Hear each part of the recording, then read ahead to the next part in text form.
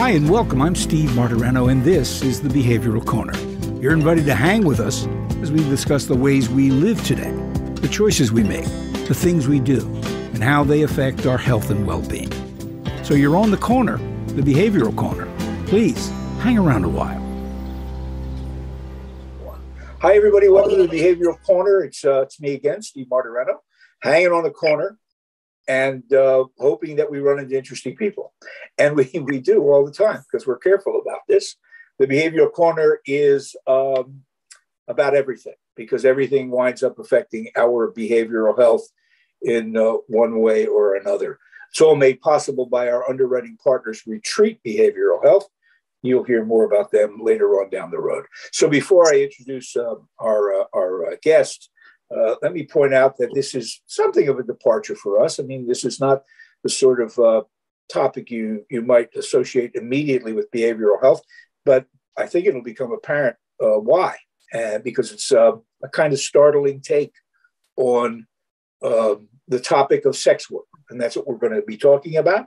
You may or may not be familiar with OnlyFans, an explosively popular website that has lots of things, but is generally thought of uh, in, in, in the area of um, adult content is the best way to put that. And we have a young woman with us now who uh, was on her road on a, on a path towards a you know a successful career in uh, the law. She has a law degree, and at some point uh, the path diverted, and she found herself uh, working as an independent contractor for herself, leaving the law behind and winding up on the site OnlyFans. We welcome Jazmen Jafar to the program. Hi, Jazmen. Thank you uh, for joining us. Yeah, absolutely. I'm really excited to be here. Did I get most of that right? Yes. So, so I uh, graduated, I passed the bar. I actually worked for about six to seven months at a law firm and then decided that it wasn't for me. after after the rigors after the rigors of a law uh, a law yes did all the hard work and then was like well you know i know you'll get into this a little bit but it, it's not a surprise to me that overwhelmingly uh, people who uh, start out the way you did don't find out the law is not for them until after they've done all the work and have to exactly. have to, be, have to become a lawyer you know? It's like exactly. It's not L.A. Law or law no. and order yeah, it's a and, different deal. So anyway, let's talk about your background before we talk about the site and what you do on it.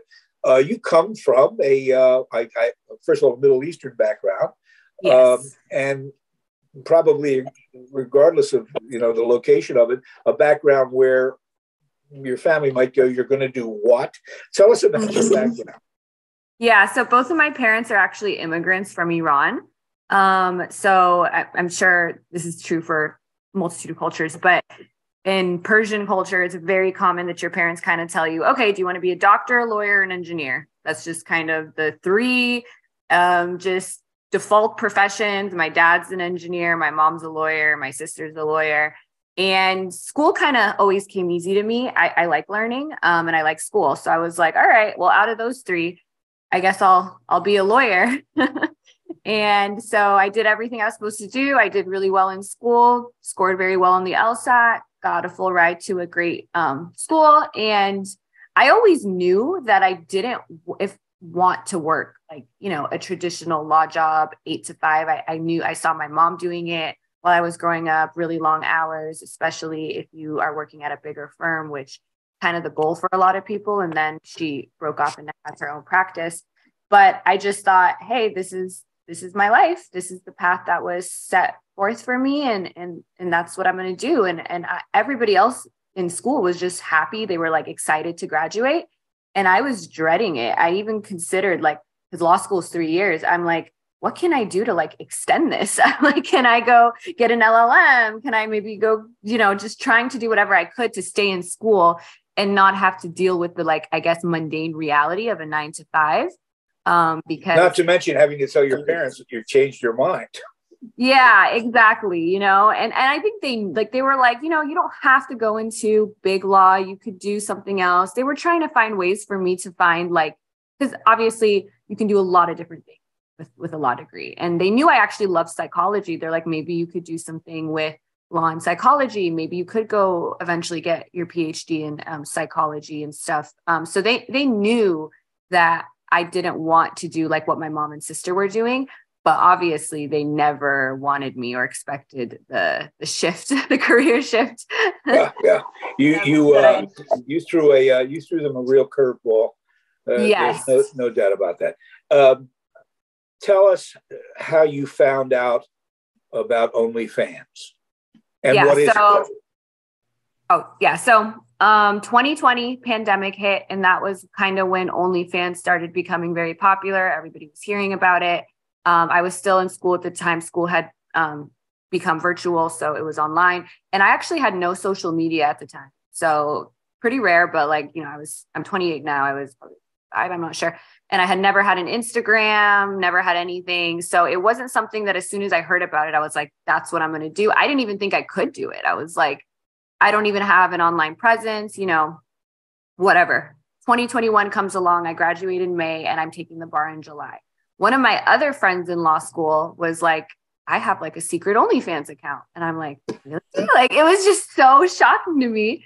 And she's like, Yeah, and you know, I'm making a little bit of extra money, you know. And I'm like, Well, how do you start one? And she kind of was like, This is what you do. And then you can promote yourself on Reddit, which I wasn't familiar with um, at the time, really, even at all. And I'm like, Okay, you know what? Let me just try it. I never thought it was going to be what it is today. And I'm like, you know, I'll have a little extra money setting for the bar. And then obviously I'll quit, I'll delete everything and go on my merry way to being a lawyer. Um, so I, I started it and actually took off fairly quickly. Um, and I was already like within like a month, month and a half, making what I would make probably as a brand new associate.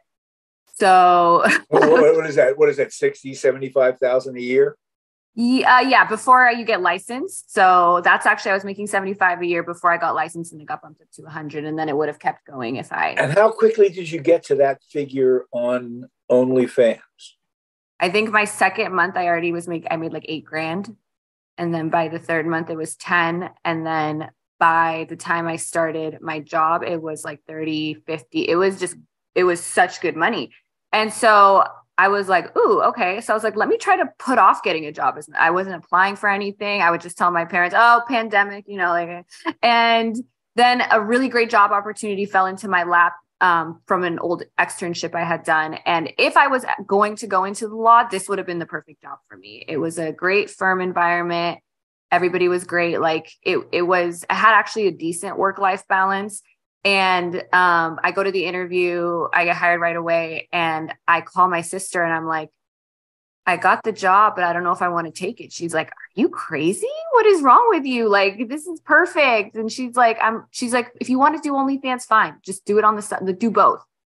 So I was like, okay, let me do both. So I was living this like double life where it was like in the day, I was at, at the firm. And then at night, I would come and I would film and I would interact with fans. I spent a lot of my weekends shooting. And the, uh, it's been almost actually a year. It was a year ago that I was like, hmm, like I, I, I just want to focus on my online content creating. What What was your expectation when you found out your friend had a secret? It's hard to imagine a secret website but uh, what was your uh, what was your understanding of what she was doing on on OnlyFans that you might be able to do as well? Um, posting pictures and making some extra money. Honestly, yeah. So it was it was basically lingerie shots or full nudity, or what was she? How far was she pushing the envelope? She she was faceless for the most part, and she was doing she was doing nudity. Um, I actually didn't start faceless. So I did like a big deep dive on whether or not I could get in trouble for this with the bar. And you couldn't. Um, and I actually disclosed it to the bar because I still had to pass character and fitness, and there's nothing they can really do about it unless. Is that is that right? The bar, the bar's ethical code wouldn't bar bar uh, wouldn't prohibit you from doing something like this. They would have to argue that it's moral turpitude, which, especially in this day and age, that would be they they don't they wouldn't want to touch that. Now, firms have the complete right not to hire you over something like this. Of course. Uh, doesn't align with their values. So that is is kind of the issue was like, okay, you're not in trouble with the bar, but can you get hired? And would you get fired over something like this? And the answer is probably, depending on where you work. Um, yes, but it wasn't going to impact my license. So because of that, I'm like, okay. And like, because it was so like Reddit, it was so low key. I'm like, it, it, you know, I, I wasn't super worried that, you know, it was going to blow up at that point and impact my ability to get a job. Um, while I was working at the firm, I would get nervous. Like I'd have random days where I'm like, God, what if they find out? And I think that's one of the reasons that I ended up leaving. I was like, I don't want them to find out and fire me.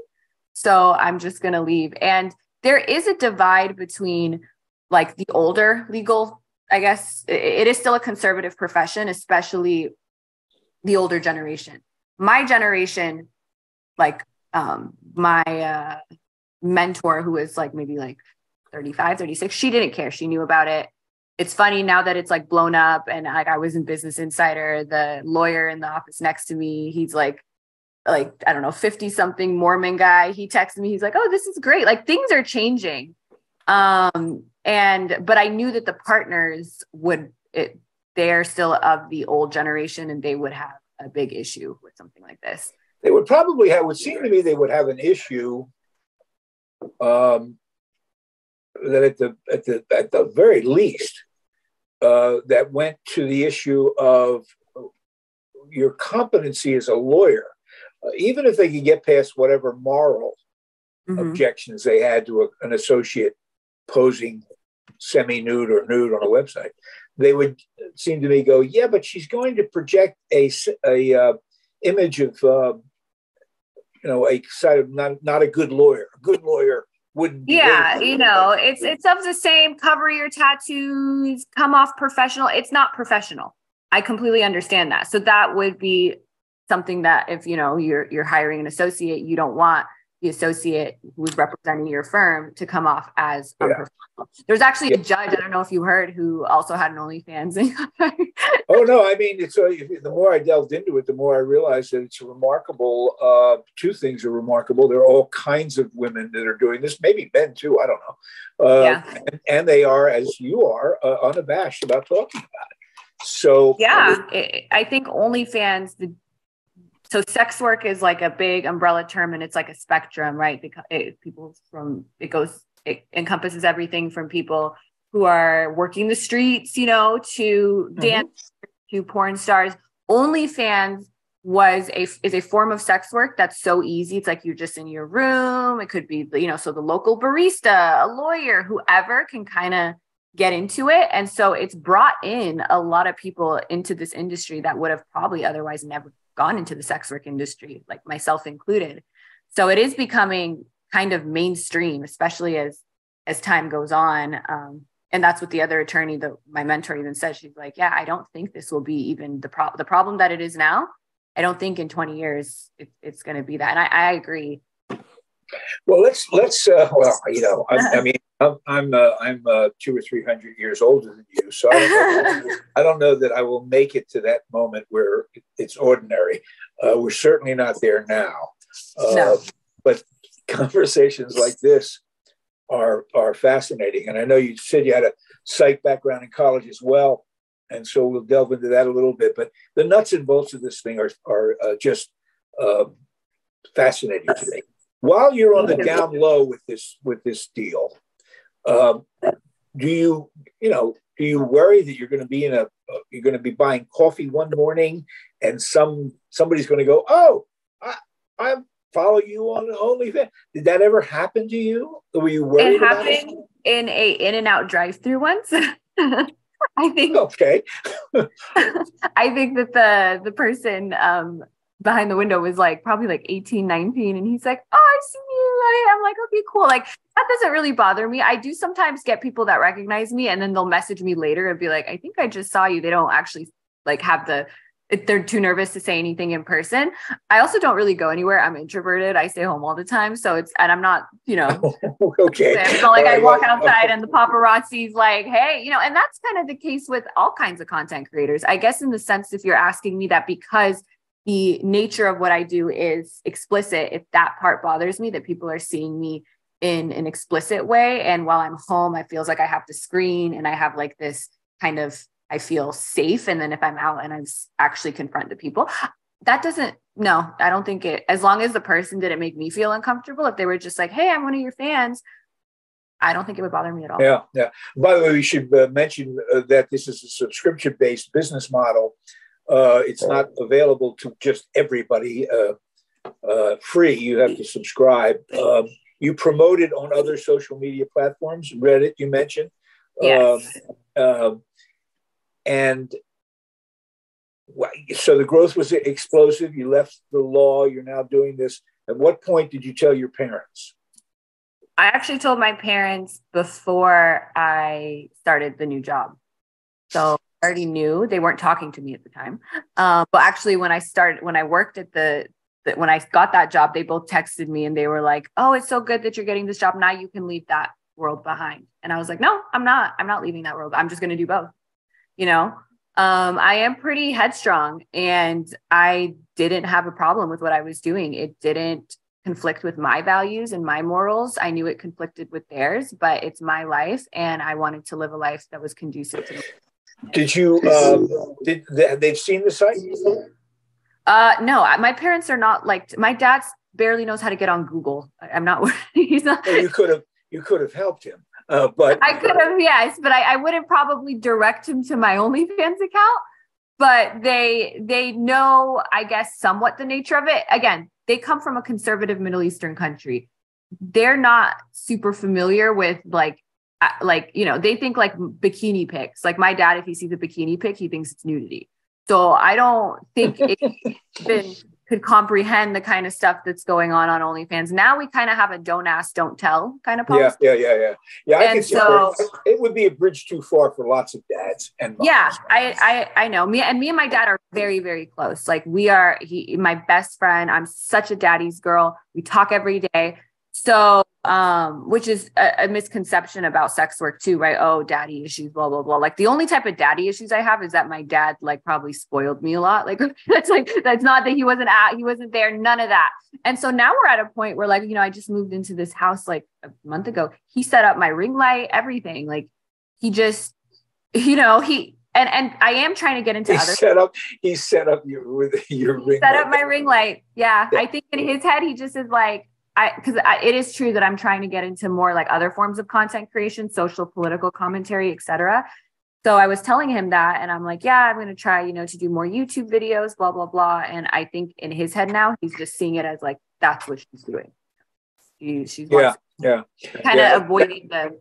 Yeah, it sounds like he's uh, observing you applying the skills he always hoped you would use in your life. Only you're doing it in this context rather than a context he expected. Exactly. And I do bring that to my fans. So I even sent him a couple of messages that I got, and I get messages like this every day like, oh, you know, the book you recommended really like changed my life. Or, you know, we, we, uh, every Monday I get on, um, I get on Twitch and I discuss some type of topic and then I go live on OnlyFans right after and do like a sexy live. So it's really interesting. So I like yesterday we did um like uh, the Second Amendment and the Constitution. So like I bring my nerdiness to my fans and that and I get messages all the time talking about that aspect of it or talking about how I inspired them. And my dad knows part of the reason I even wanted to get in psychology for so long is I've always wanted to help people.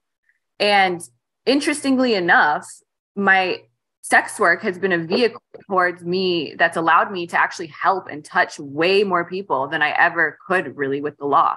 So there's a there's a uh, kind of a dovetailing here of the you know explicit stuff that attracts attention but also the uh, the ability to influence. I mean influencing is a big deal. Uh, lots of people are making very very handsome living uh, just as influencers. Our guest is jazmen jafar. She is uh, uh, she has her own uh, OnlyFans site. She's doing many other things um, on social media uh, under the umbrella of the term she uses very freely. You've heard her say it, and that is sex work. Um, you don't back away from that. Uh, it'd be easy for you to call yourself, well, I'm just a content uh, creator. Yeah. You, you, no. Don't, you don't. You don't back away from the sex work thing. Not at all. Not at all. I'm very passionate about being open about sex work and kind of breaking those barriers. That is part of what I try to do. So even doing those two lives back to back, I get a lot of subscribers that are like, well, after I heard you talk, you're actually really smart and this. And now it's kind of hard for me to see you in this sexual context. And I'm like, well, why? You know, like why? And then once people get, once that's people are exposed to that over and over again, then they're like, yeah, the more I got exposed to it, the more I realize it's not a big deal. That's kind of one of my, what I want to do with my platform yeah, you know, I, I, can, I can hear a certain customer, certain subscribers say, if you'll pardon me, shut up and take your clothes off, uh, and others because it's just a turnoff for them. Why is she? Why is she smarter than I am? I don't. no, I don't. You know, uh, too many. And others, but, and yes, others I would go. I really like. I really like what she has to say. Um, and I don't care whether she has her clothes on or not.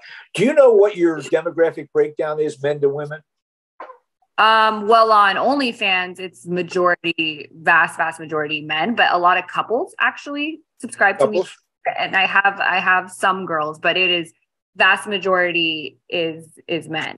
And showing my personality and showing this is actually, if you look at the top OnlyFans girls, a lot of them are Twitch streamers, a lot of them are online social media personalities what people don't understand is part of the reason OnlyFans is so popular and people subscribe to OnlyFans is because they want a connection with the creator, which you don't get in traditional mainstream porn. It also has the uh, the uh, benefit of, I mean, this is maybe the ultimate DIY uh, thing I've ever seen, uh, because in fairness to the platform, there are many other things going on there beyond sex, uh, sexually explicit material people are doing all kinds of things on only. I guess you can go there and find, you know, how to change, how to fix your carburetor on your car. Um, as sure well you as can. Else. Right. Yeah. Uh, uh, Jazmen, did you do? Are you single now? Yes. Unattached. Yes, unattached. Do you, uh, since I started the platform. What has it had any kind of impact on your dating life, or are you no. And this is a common question that I get.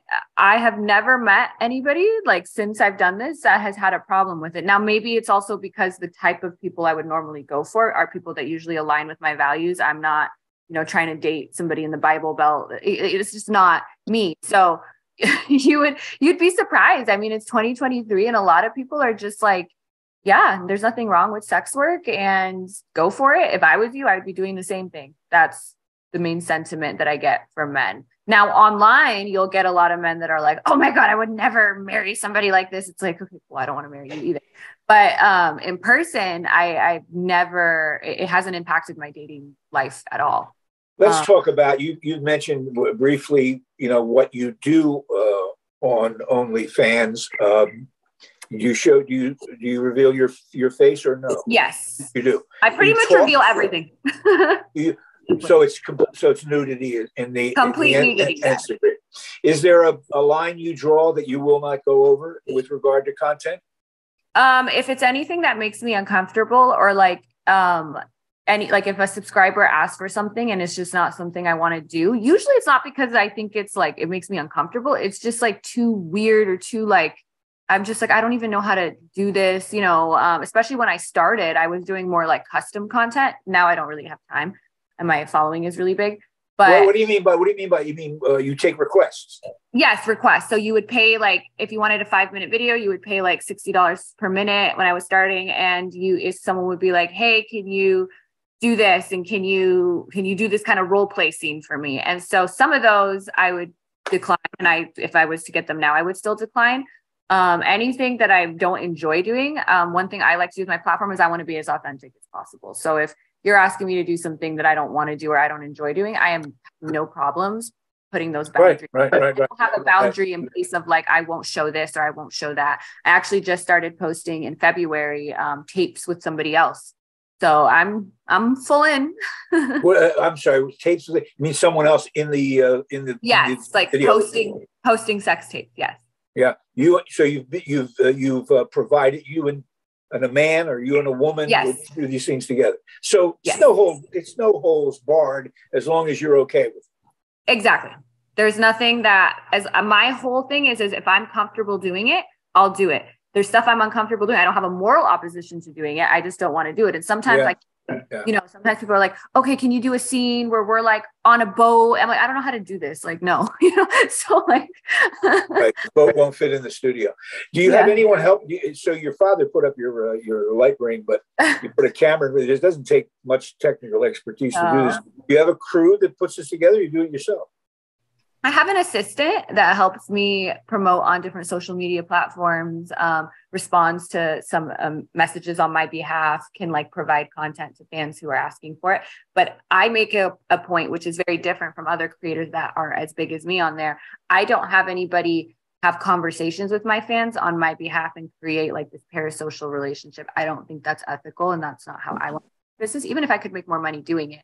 So um, I just have, I'll either be talking to my fans or I'll have somebody just answer like simple, like how much is this? How much is that? But I'm not going to have somebody pretend to be me, go, go in there and someone, how's your, yeah. Day? you know, telling you about their life and their marriage, yeah. whatever, and they think they're talking to me and they're talking to someone else.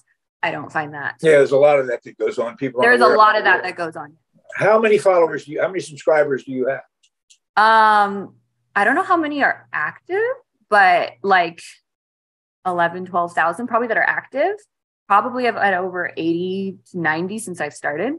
What does a subscription cost? Subscription is only $6.99 and then you can buy additional. So every other day I drop a video and you can buy like it's a longer video, you can buy that video. I do live stream. Um, I get tips. So subscription is just you get tips as well.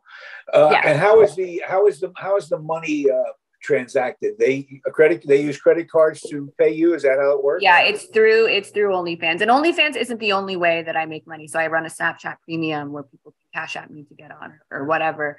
Um, I have built like personal relationships with fans who will just send me money. It's a completely not related to OnlyFans. They like find me on Reddit, whatever. Um, and but through OnlyFans, it's just um through the platform. Yeah, so. I, uh, avoid. This is the first opportunity I've ever had to ask the questions like ask this in your business. Yeah, ask me anything. Um, would, what about the uh, being able to separate uh, a sex act, sex acts, in a work context uh, from a personal context? Uh, do you have any? I mean, it's got to be. It's a different experience when you're with someone privately, right? Yeah. So, like for instance, the person that I'm having sex with on camera, we have sex on our own too sometimes, you know. So it just like we could just be into it, and then all of a sudden we'll get out the phone and we'll start recording. So I I don't really notice like much of a like. I don't feel I'm I'm just so comfortable with it. Like I'm comfortable having sex and having other people see it personally. It doesn't make me feel weird. It doesn't make me feel um like it doesn't change anything for me. Is there it are, more is it more exciting for you thinking about people watching um not not necessarily sometimes. And that's why like we don't film every time. There are times where we're like having we, where we've had sex and he's like do you want to film it? And i'm like no i don't feel like filming it right now. Other times i'm in the mood to film it right? So and i'm i, I think it's hotter to film it. So it just depends on my mood. Um even the solo stuff i would do like I would not film it unless I was in the mood to film it. And that's one of the things about OnlyFans is I don't have a boss. It's just me. So if I'm not in the mood, I won't film it. There are a lot of times where I'm like, oh, you know, I should put a video out, but I, I don't feel it. I don't feel like it. And, and that's okay. Um, so you really feel, I know you do, I can tell from just uh, this conversation and what I've read, that the entire uh, notion surrounding sex work will ultimately move out of the uh, sleazy and dangerous realm, or maybe it'll never leave the dangerous realm, certainly the uh, the salacious realm, and mm-hmm. just become something people do now in public, as it were, virtually in public.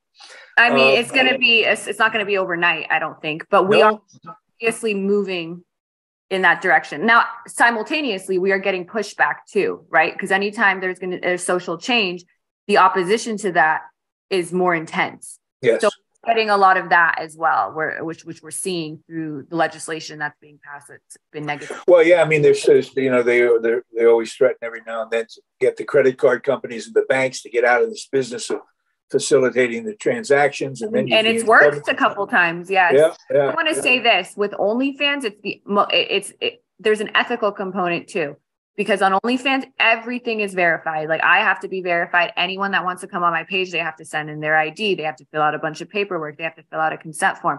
So when people are consuming this kind of content, if you get it through OnlyFans, not only is the money going directly to the um, person, the the exploitation and all that that is more rampant in the mainstream porn industry isn't happening here. You know nobody's underage. You know nobody didn't consent for their content to be out there. You know it. So I feel like OnlyFans is moving it towards this model, whereas like you used to just go on whatever free site and you had no idea what the hell you were watching. Um, so, so you're con- you you are completely confident that no one is being uh, uh exploited, no one is being coerced, um, no one is being I don't like forced to, into this. I don't like to speak in absolutes. So I'm not saying that nobody has ever been exploited and, and you know, somebody could have an abusive partner that's forcing them to be on OnlyFans. That's true. But when it compares to other forms of sex work, the exploitation is way less. Like it, everything is so like we pay taxes. We all our information is in there. Um, we have very rigid requirements for bringing somebody else in. It would be a lot I don't harder. I don't I don't think OnlyFans is even I think that's part of the reason they're so strict is like and even now like they'll go through and they'll start if you have any infraction they'll give you a strike and, and, and you can't be putting just random people on so there. you can't get through you can't get thrown off the site i guess right you can and a lot of people get thrown off the site yeah. anything about meeting up in person or anything which i i never do and i never wanted to do that's not allowed you're not even allowed to sell or ship fans like your bra and underwear like they, they have they're very strict this is strictly online virtual content creating for people that are 18 and older. You need a credit card to get in the site. You have to be, um, it, I think, it, as safe as we can get it. And it's in that context that you said in a couple of interviews you've done uh, that, uh, contrary to what has historically been the case with women in sex work uh, and uh, substance abuse, depression, anxiety. Uh, this experience, you believe, will reverse, if not eradicate that context, and allow you to be in control of everything so you wouldn't necessarily suffer psychologically. You, you believe that, right? I would say that I would, uh, my mental health was and would be worse if I was a lawyer. I mean, you know this too. Lawyers have a high rate of substance abuse, depression, suicide, et cetera. It's one of the unhappiest professions you can be in. So for me personally, sex work has been, I have time, I have freedom, I feel in control. I'm in control of the content I put out. I feel like my work is meaningful and I'm touching lives. I, this is, I love my job and so i don't have those those negative that doesn't mean nothing ever goes wrong. That doesn't mean i don't i don't have bad days. It doesn't mean every single day is so i wake up every day and i'm like i am so empowered blah blah blah. There are bad days too. There are days where i'm like i don't feel like doing this. There are days where like you know you get banned off a lot. That's probably the hardest part is just the treatment we get from social media platforms. You're getting banned you're getting deplatformed. It's like we're struggling. The legislation that's being passed is sometimes going to harm us like that's that's difficult um you don't have like there's no like hr or anything like you're on your own kind of um mm-hmm. but the actual work i do i i don't feel like it it is having those negative like i said sex work is a is like so yes if you're and i do think that like a lot of times when people talk about the negative impacts of sex work they are looking at it from the perspective of like oh the the people that are in the worst position like the people walking skid row that are addicted to drugs. Yes but that's one form of sex work. And that can go from anything to people like me that are making six figures a month living a great life with a bunch of time freedom and money and happiness. So so it's a, it's a, you know one of the major goals in life is to uh, do something that you find meaningful and makes you uh, happy, you're living your best life as a sex worker. Is that what you is that what your position? Yes, is? I feel I feel very it warms my what I do actually warms my heart. So I always get all the time like, oh, do something. You need to contribute to society. I can't believe you left your job as a lawyer where you were contributing to society and now you're not.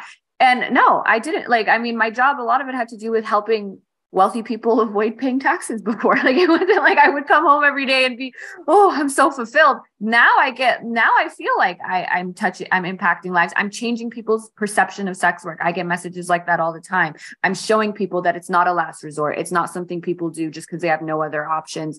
It's, I'm trying to get rid of that stigma. And that to me is a mission that makes me feel fulfilled. It makes me excited every day. You're a remarkable uh, spokesperson for that. Can I offer? I'm sure somebody's done this, but can I offer you a title for the next uh, thing you want to? You should call what you're doing the naked truth. would be a great. I love that. I love that, that. like that? Okay, you can have yeah. that. Now, let me ask you this, and finally, uh, with regard to the nature of social media and the mm-hmm. internet, which is, oh, you know, once it's digitized and out there, it can escape and you know, you, the model you've talked about puts you in control, working with your partners at OnlyFans. But we, there are, according to what I read, examples of content that escaped, got hacked, and it's now in uh, the standard porn sites. Is that yes? yes that that does happen yes that does happen a lot of us models we work with um, companies that will scan the internet for it and we'll mm-hmm. do DA takedowns so no I, I wouldn't tell anyone if someone's like, I'm going to start an OnlyFans, but I want to be sure nothing will ever get leaked and blah, blah, blah. No, that, that's a possibility. That's a reality of the industry that you're in. Um, and yeah, you can get the content taken down. Sometimes it's easier than others. You can get it delisted from Google. But I mean, the fact that people are seeing me naked doesn't clearly doesn't bother me. So I, I don't like if my stuff is leaked because it should be behind a paywall and I usually get it taken down but I don't think that that is like, oh my God, the internet's seeing me naked. Like, right, right. Well, you know, I would, I'm going to end this by, by, I would have asked you uh, under different circumstances. You're 27, you say? Uh, 28. 28. I, under different circumstances, I would have asked you how much longer can you realistically do this? And then, of course, Martha Stewart shows up on the cover of Sports Illustrated at 81. So you got a long run. Oh my gosh. I have women, I know women doing this. I mean, there's, and that's the great thing about OnlyFans is that you, and like Reddit, for instance, you can post in different subreddits for your aesthetic. So there are MILFs over 30, over 40, over whatever that people want to see that specific type of content. So yeah, you can do this for a long time. And like I said, I want to start, you know, moving into social political commentary. You can do that for a lot longer um yeah this is not something that you know you, you expire when you're 30 and you're not going to be made a lot of women well into their 30s and some 40s are making a killing still on onlyfans. Uh, jazmen uh, jafar thank you so much. Um it, it, it's a terrific perspective on it. I look forward to the uh, reaction from our listeners on the behavioral corner to see what they think about all this. It's been an eye-opener for me if you'll pardon the pun. Uh, and, I want to thank you so much for your time. I appreciate it. Thank you so much for having me on. I really enjoyed the conversation. Yeah, I want to uh, remind everybody don't forget, like Jazmen, we love subscriptions. Just push the button and uh, subscribe to the Behavioral Corner. Follow us, like us, do that whole thing. And we'll catch you next time on the corner. Take care. Retreat Behavioral Health has proudly been serving the community for over 10 years. Here at Retreat, we believe in the power of connection and quality care. We offer comprehensive, holistic, and compassionate treatment from industry leading experts. Call 855 802 6600 or visit us at www.retreatbehavioralhealth.com to begin your journey today.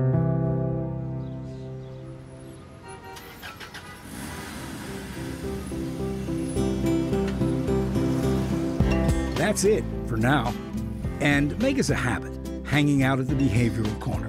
And when we're not hanging, follow us on Facebook, Instagram, and Twitter on the Behavioral Corner.